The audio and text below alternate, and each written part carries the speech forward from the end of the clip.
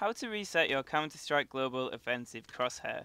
Now they've changed how you do this in 2016 so I'm making a new video but it's still relatively easy to do and I'm going to walk you guys through the process. So the first thing you want to do is you want to locate the Steam folder which is located at the C drive, Program Files 86 and then Steam by default and then you want to click on the user data folder. Once you've clicked on that you need to work out which folder is your account and you can do this by going to Steam, clicking on your username and going to inventory. Then once that loads, you want to click on trade offers and then you want to click on who can send me trade offers.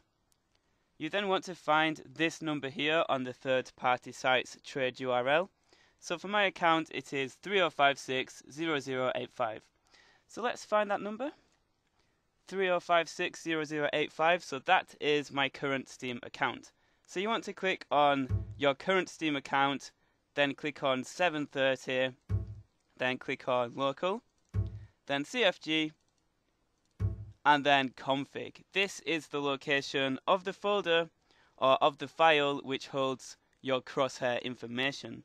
So you want to open this config folder in Notepad or Notepad Plus, and you want to find the CL underscore crosshair information. So with this, you want to delete all of the CL underscore crosshair text because this will reset your crosshair if the game doesn't know what settings you'd like. So delete all of the CL underscore crosshair and simply save the notepad file.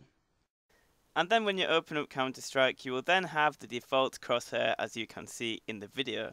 Be sure to leave a like and a nice little comment if this tutorial helped. It lets me know that I helped you guys out and that'd be awesome. So thank you for watching and I'll see you guys later.